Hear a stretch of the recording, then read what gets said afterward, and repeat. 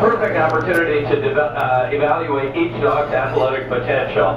Now, we're looking at how well they match the other dogs as far as speed goes and also endurance.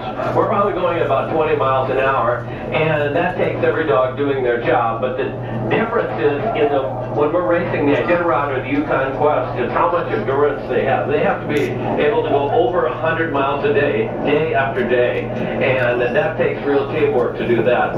I'm giving the dogs a left-hand command up here, and I've got to sign up, and I'll talk to you on the way back. Okay, folks, Dave just said haw. Haw means left turn. Gee means right turn. These dogs have to know these commands because there's no radar on the dogs. So if they don't know the word, you'll go one way the wrong way for a very long way. So they're very smart animals too.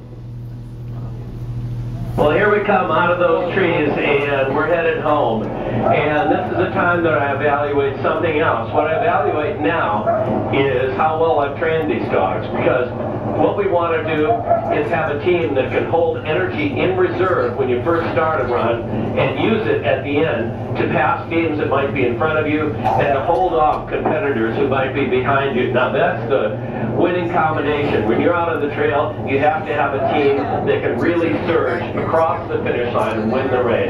This looks like a team that has it, and I look forward to working with them this winter. I'll Tell you more when I get back. Folks, down there on sure we have uh, Kyle Duran.